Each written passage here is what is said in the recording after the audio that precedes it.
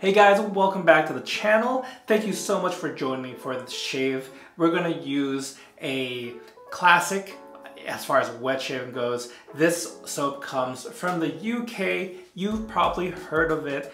You might have heard some controversy behind it, just in terms of uh, the difficulty in working up lather. Today we're talking about Mitchell's Wool Fat, and I've got it here in the ceramic jar.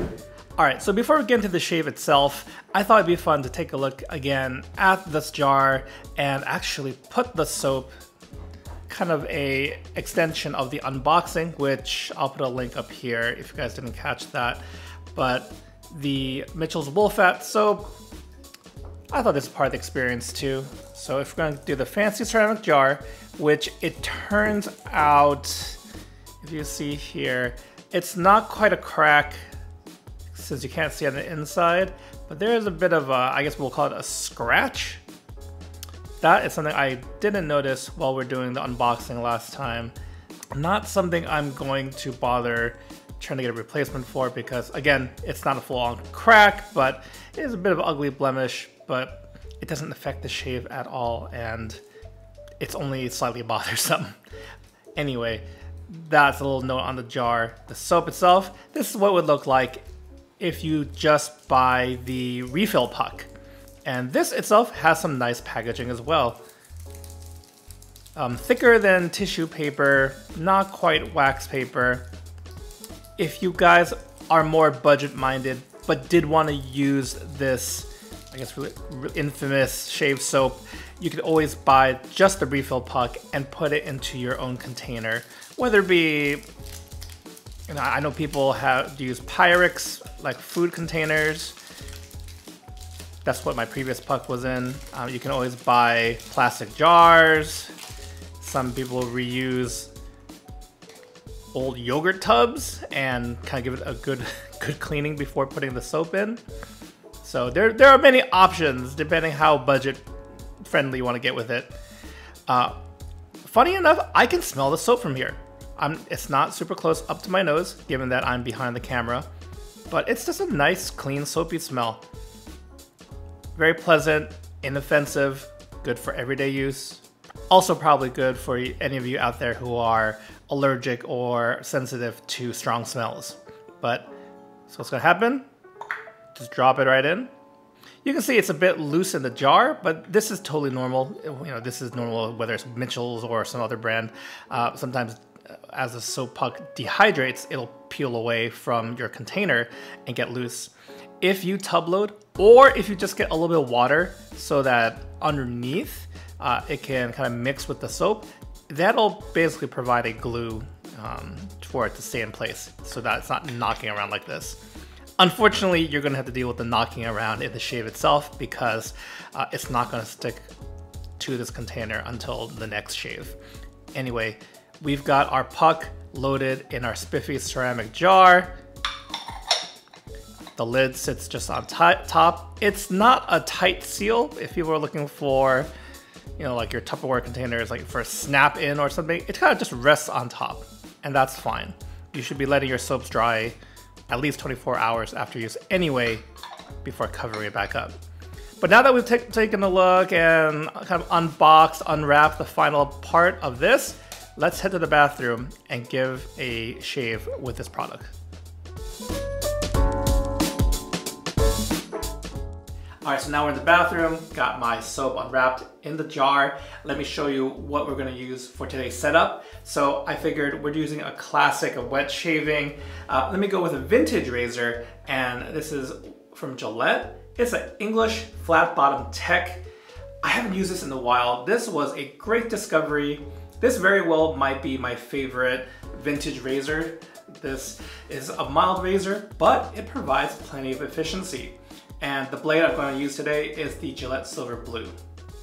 Now in terms of the brush, I have it soaking here. Let me just try not to make a big mess. This is not a vintage brush. I actually don't, I don't really collect or go for vintage brushes. Maybe one day, who knows. But uh, this one I wanted to use from Trotter Handcrafts. This brush right here, which uh, he made kind of custom for me based on my logo. And the brush is outfitted, uh, if memory serves correct, uh, with his T1 knot, which is a Manchurian style badger knot, a Manchurian fan badger knot. 26 millimeters, very comfortable to use. So that's the brush for today. Lastly, for the aftershave, because it's not strongly scented, I can kind of pair whatever I want with it. We're gonna go with Fine Lavender Pour Homme. And this one, I believe it's discontinued. Unfortunately, you might be able to find old stock lying around. Uh, I got this one courtesy of a friend of the channel, Sepherton Shaves. Sepherton, thank you so much. Uh, I believe it's probably over a year ago that you sent this over my way, but really wonderful scent. I used to have the soap, don't have that anymore, but you know what, I think the splash I kind of enjoy anytime. Um, this too is not super powerful necessarily, but you know, aftershave, I don't need it to last hours and hours. I mean, this might go an hour to two tops, but it leaves me feeling fresh, feeling clean. It's got some a masculine vibe to it and just really, really easy to wear. So going with this for the splash.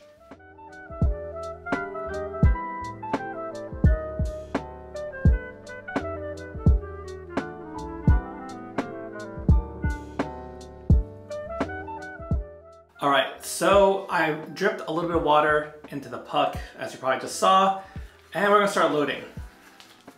I'm gonna load longer than I normally would, given it's, uh, kind of breaking in the soap.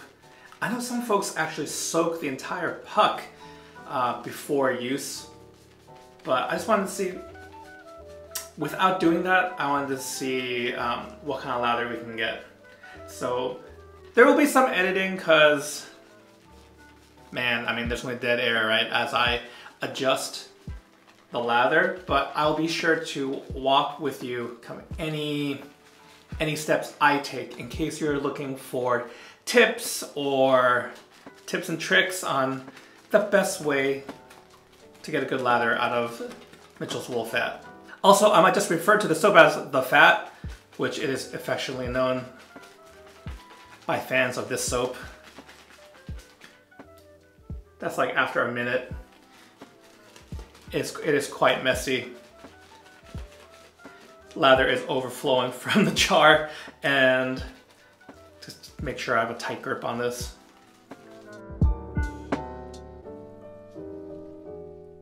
All right, so it's about a minute and a half of loading. You can see that is uh, the result. Here's what it looks like in the brush. I, I will totally cop to the fact that we might have to go in in case this is not enough lather. But since I got plenty of this stuff all over the jar, I'm gonna use it.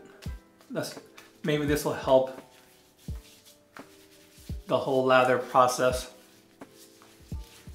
And because there's not really much scent notes or anything like that to speak of, I will say um, what this reminds me of is a Dove or Ivory bar soap, just a clean white bath bar.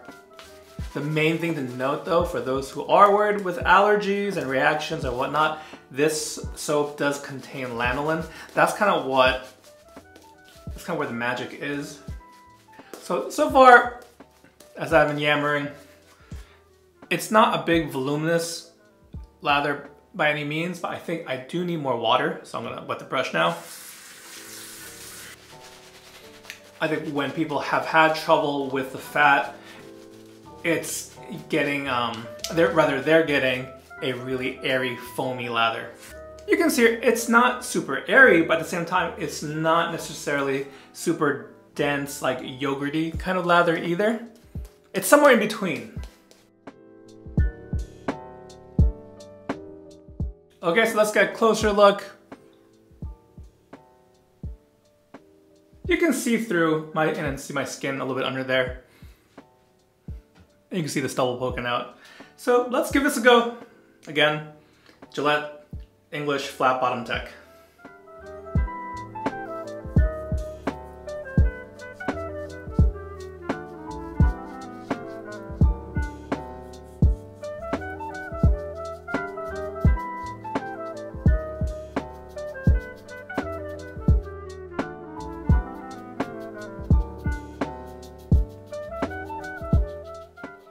I gotta say, this is a much more enjoyable experience than the last time I used another wet shaving classic. Um, a few weeks ago, I went live on Instagram with Shaving with Greg Tardif.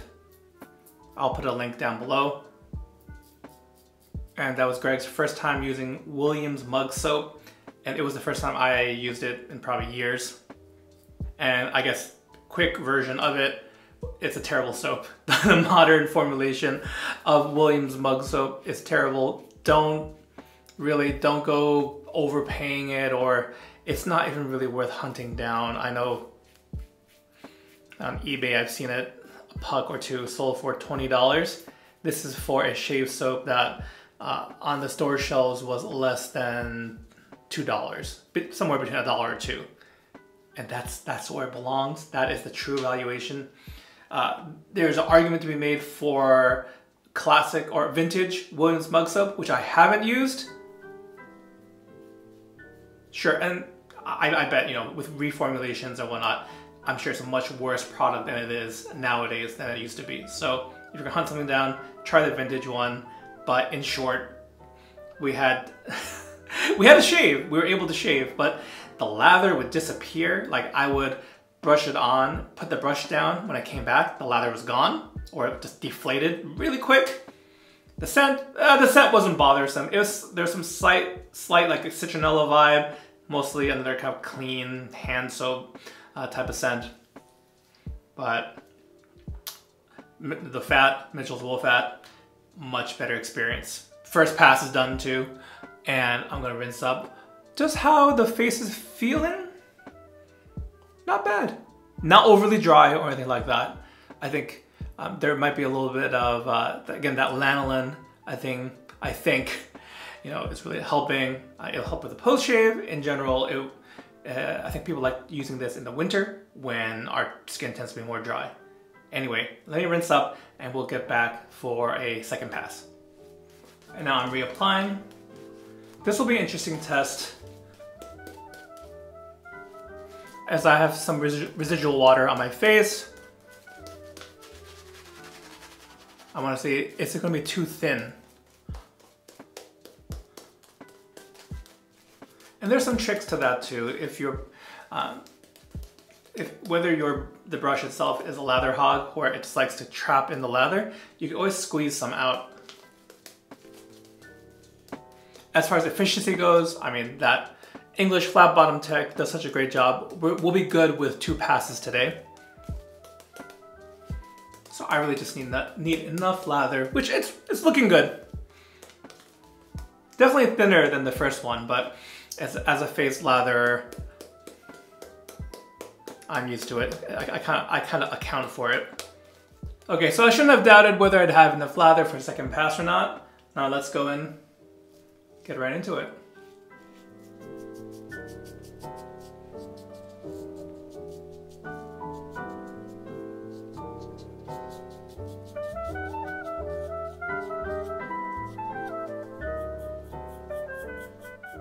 There are certain classic products, so you know, software or hard, hardware,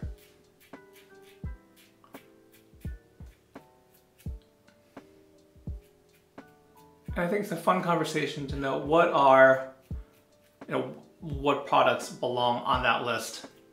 What are the must tries? And so today we, we're really trying to tackle that, uh, that question is Mitchell's Wool Fat worth your time?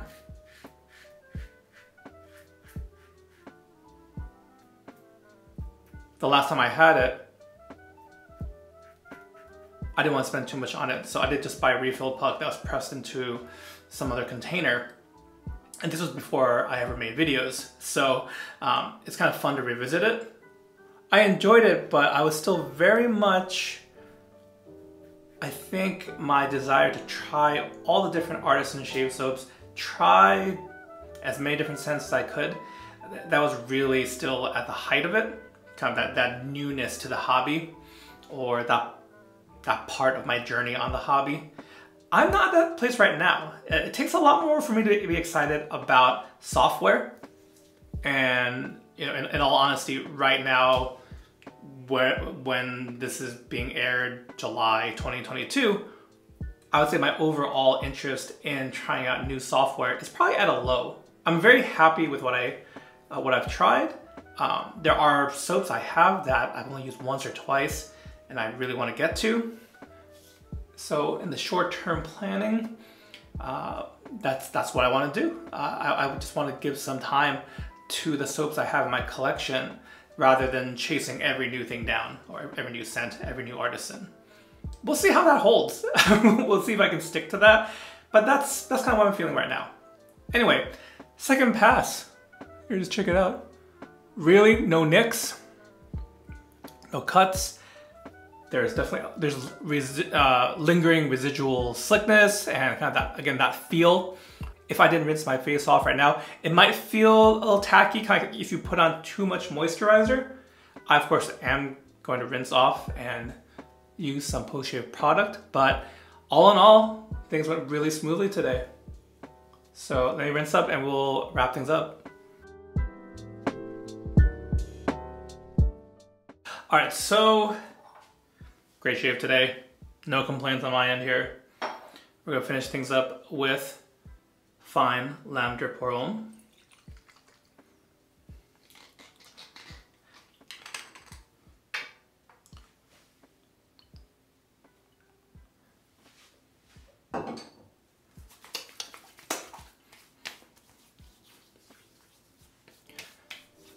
But I did want to wrap up my thoughts on Mitchell's Wool Fat. Let me grab the lid. Right there. Okay, so this English soap Bottom line, is it worth your time? I say yes. I say it is worth your time. Whether you just get the refill puck, you can just hold it in your hand and lather it. You don't even need a container. As long as you're not allergic to lanolin, which is the kind of the standout ingredient, original 1893 formula prepared with natural lanolin soothes, softens, and smooths Bradford, Yorkshire. I was corrected in my pronunciation. Bradford, Yorkshire. I think I say Yorkshire. I should know, like a bunch of Massachusetts towns have weird pronunciations. Something that you would think a, a town, a city like Worcester is Worcester. So it's not Yorkshire, it's Yorkshire. Anyway, fantastic soap, fantastic English soap, no less. It's a classic, it's worth your time. But if you're also a wet shaving enthusiast and just trying the products that have long been recommended, some have a cult following even, this one, I'd say put it on your list. It's, it's a good soap. It's a solid soap. So let me know guys uh, if you have used this and whether you had a good experience, a really bad experience. I'd love to hear from you in the comments down below. I want to thank you all again for joining me for this shave. I know it's a little bit more um, laid back, a little more long form than normal, so I appreciate you sticking it through. I hope you found the information helpful, and I really want to wish you guys have a great day. I'll catch you next time. Take care. Today's video was made possible in part by our wonderful patrons. For more information about our Patreon, check out patreon.com slash lathertalk. You can also check out our Etsy store and pick up a comfy Lather Talk t-shirt or coffee mug. Find all the links down below.